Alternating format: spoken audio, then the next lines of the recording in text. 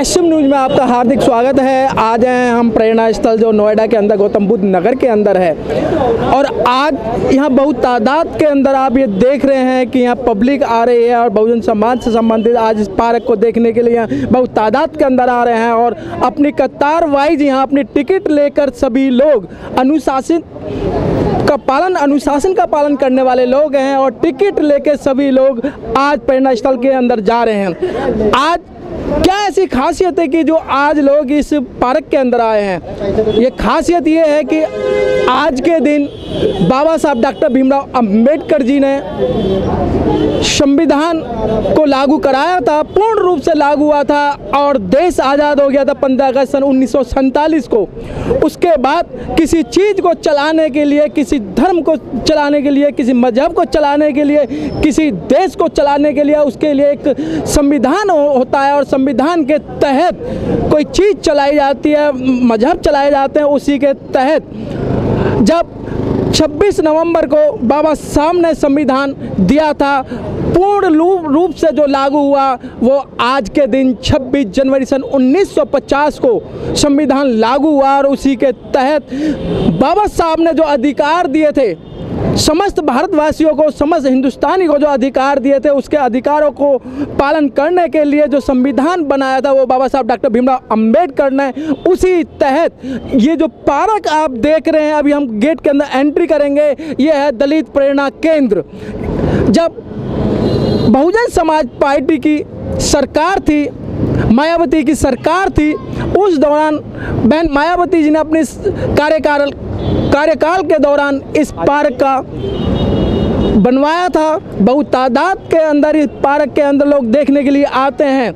बाबा साहब का संविधान के तहत जो अधिकार हमें मिले थे, जो महिलाओं को अधिकार मिले, जो बहुजन को अधिकार मिले, जो दलितों को अधिकार मिले, उसके तहत आज बाबा साहब को याद किया जा रहा है कि जिन्होंने हमें गड्ढे में से खोद कर जहाँ हमारी जो एक दयनीय स्थिति थी, जो पीछे झाड़ू हुआ करती थी, गले के अंदर हांडी हुआ करती थी, उस संविधान के तहत, शिक्षा के तहत वो सबको हटाया। और आज ही के दिन बाबा साहब डॉक्टर भीमराव अंबेडकर जी ने पूर्ण अधिकार दिलाए।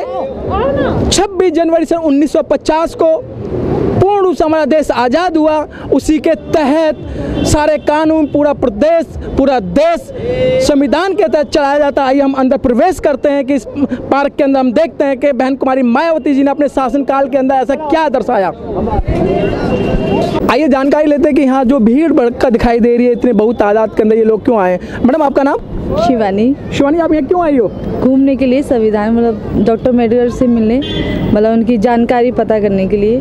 बाबा साहब की जानकारी पता करने के लिए इस पार्क के अंदर आपको जानकारी मिलेगी बाबा साहब ने हाँ जी हाँ? जी। पार्क के अंदर भ्रमण करने के लिए आए क्यों आए क्या कारण है? सर आपका नाम? मेरा नाम अब्दुल हनान। मैं उर्दू थोड़ा थोड़ा बात हाँ, हाँ, हाँ। थोड़ा हाँ। थोड़ा थोड़ा जानते हैं। हिंदी आप थोड़ा थोड़ा जानते हैं? हाँ आप लोग यहाँ क्यों आए हैं? अफ़गानिस्तान से। अफ़गानिस्तान से हाँ, आए हैं? हाँ। तो आप इस पार्क के अंदर क्यों आए हैं? क्या घूमने आए कैसे क्या मन करा आपका? हम ये लोग सिफत किया कि इधर अच्छा जगह है। जो इतनी भीड़ आ रही है क्यों आ रही है? क्या कारण है? हमारे बीच में कुछ लेडीज़ हैं आइए हम जानकारी लेते हैं। मैडम आपका नाम? अ, मेरा नाम नीलम राहुल। न- नीलम जी आप यहाँ पूरे परिवार के साथ क्यों आए हैं? आ, ये तो बहुत आज खुशी का दिन है जैसा कि सभी जानते हैं कि आज गणतंत्र दिवस है और महानायक बाबा साहब भीमराव अंबेडकर जी के संविधान का दिन है। तो इसी खुशी को सेलिब्रेट करने के लिए हम सभी सपरिवार यहाँ अपने दोस्तों के साथ आ जाए हैं। मतलब बाबा साहब ने जो संविधान लिखा था हाँ। आज के दिन 26 जनवरी सन 1950 को लागू किया था। तो आप उसको सेलिब्रेट करने आए हैं। जी तो उन्हीं की वजह से हम लोग देखिए अभी नौकरी में हैं इतने इतने ऊँचे पदों पर हैं ये हमारे पापा जी हैं। ये तो बहुत बड़े एक मतलब भीम के सेवक हैं। हमारे घर में हमारी माता जी रही हैं जो हमारी पापा जी की धर्म पत्नी थी। उन्हीं के मतलब कदमों पर तो चलते हुए ऐसे क्या काम करा है जो कि आप लोग इतना उनको मान रहे हैं? नहीं ये तो बताने वाली बात है नहीं है महिलाओं के लिए क्या महिलाओं के लिए तो बहुत बड़ा काम किया है। आज उन्हीं की वजह से देखिए हम बिना घूंघट के खड़े हैं हाँ?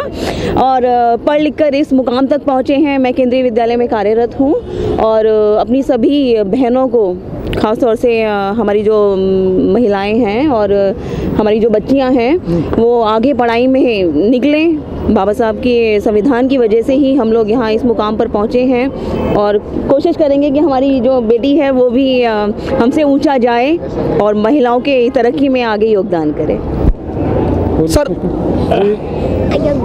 आपका नाम? Rajouria R S Rajouria. R S Rajouria? जी। रजौरिया जी आप लोग यहाँ क्यों आए? आपकी तो इतनी उम्र हो गई है आपको घर में आराम करना चाहिए था लेकिन आप इतनी उम्र में यहाँ आए हैं। उसका मुख्य कारण ये है कि बाबा साहब ने जो लास्ट उनका कंक्लूजन है मिशन का वो है बुद्धिज़्म। बुद्धिज्म। यस अगर आपको अपनी तरक्की करनी है तो आपको बुद्धिज्म अपनाना पड़ेगा। अपना नहीं होगा। There is no other way because he develop mind जी। बाबा साहब ने कहा था एक बार कि आर्थिक गुलामी से ज़्यादा खतरनाक मानसिक गुलामी होती है। तो मानसिक गुलामी से निकलने के लिए बुद्धिज़्म का मानना बहुत ही ज़रूरी है। That is the gift by doctor Ambedkar that is why I come here बहुत अच्छी बात है कि अभी बताया कि, कि जो अगर आपको अपना उद्धार करना है तो बौद्धिज़्म की तरफ़ जाना ही होगा। और मानसिक गुलामी जो है उस मानसिक गुलामी से अगर छुटकारा पाना है तो बौद्धिज़्म को अपनाना ही पड़ेगा।